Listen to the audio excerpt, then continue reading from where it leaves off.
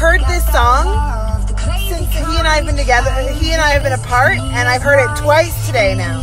Twice. Look, guys, it's my stallion. Mhm. This is such a pretty little area. I can't even. Wow. Yes. Look how really beautiful all of this is. Like, it's so nice. It's really pretty. And there's so much to see.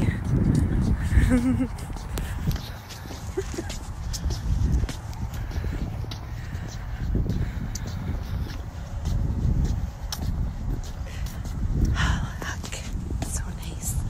I said so nice. Like I love the lights on. And then, uh, See, like this is what like the world should look like. All of it. You know, like look how beautiful the grass is. And obviously, that's uh, their family mausoleum. So when they all die, that's where they go. Go in there. Holy crap!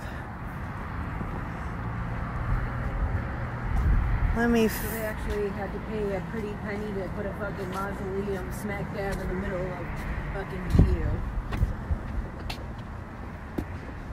Oh, it's telling There's me peop- it's plus 10 degrees today. That's good. Day of adventures to come. I'm looking forward to it.